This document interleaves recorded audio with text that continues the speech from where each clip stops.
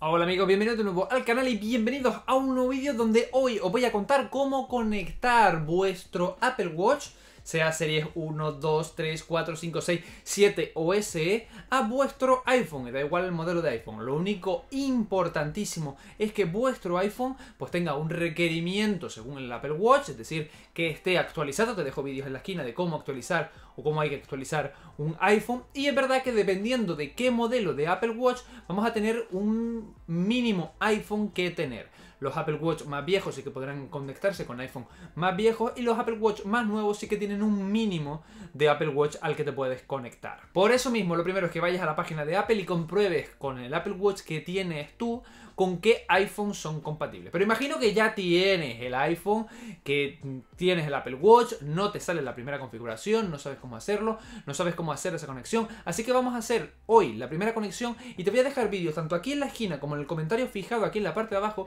de los primeros pasos que hay que seguir con el Apple Watch una vez que ya hemos hecho esa conexión.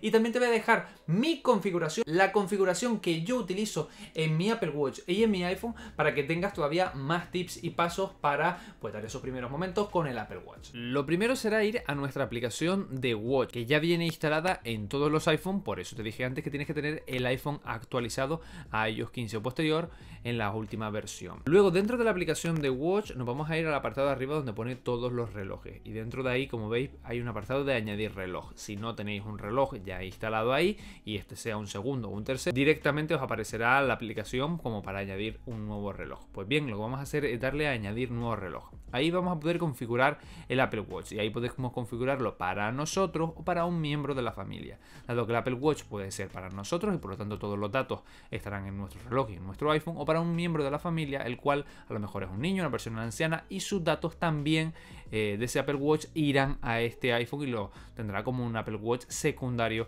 al tuyo. En este caso vamos a pensar que es para nosotros y vamos a darle a para mí. Ahora como veis se ha activado una cámara y dentro de la cámara con un recuadro con la forma del Apple Watch. Y esto sirve para si yo tengo un Apple Watch y ya le he dado a iniciar en la corona digital y en el botón de dock, los mantengo pulsados y aparecerá una animación cuando el Apple Watch es nuevo. Y aquí en el centro aparecerá una imagen como la que estáis viendo en pantalla. Y lo que tengo que hacer es intentar meter el Apple Watch dentro de la imagen hasta que salga eh, pues la conexión. Si no saliera fijaos que debajo pone enlazar manualmente. Clico en ella y nos dirá, toca el icono I del Apple Watch para ver el nombre y luego toca lo tal. Ahí aparecerá el Apple Watch que posiblemente el iPhone esté detectando cerca, clicamos sobre él y tras ello lo que hará será poner un código en los dos para que nosotros eh, seleccionemos y listo. Muchas veces me decís que hay error en estas conexiones y demás. Recordad, tenéis que tener el iPhone actualizado, esto es muy importante.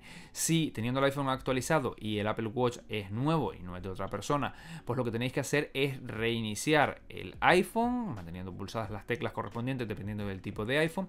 Y en el caso del Apple Watch, pues si podéis apagarlo y volver a encenderlo, también estaría bien para que a lo mejor reinicie ese proceso o la animación en cuestión. Si el Apple Watch no es vuestro y es de otra persona y tenéis que formatearlo, os dejo un vídeo en la esquina sobre cómo formatear un Apple Watch que venga de otra persona, segunda mano, etcétera, para que lo podamos formatear y reutilizar. A partir de aquí, simplemente seguir al asistente y luego hacer la configuración inicial. Y después de ella, pues ya el Apple Watch y los primeros pasos que te dije antes y mi configuración ideal. Y ya visto que es súper fácil conectar el Apple Watch a tu iPhone. Es simplemente dos pasitos y si hay algún problema, pues las dos soluciones que te he dicho y ya lo tienes. Y sabes lo que tienes también, la posibilidad de suscribirte aquí en la parte de abajo y activar campanita para que cuando suba nuevo vídeo YouTube te avise si no tienes mis redes sociales, Twitter, Facebook, Instagram, eh, TikTok, mm, podcast, sé, que hay montones, las miras aquí en la parte de abajo en el super enlace, te suscribes a ellas porque doy truquitos extra que no doy en YouTube en esas redes sociales para los que me siguen.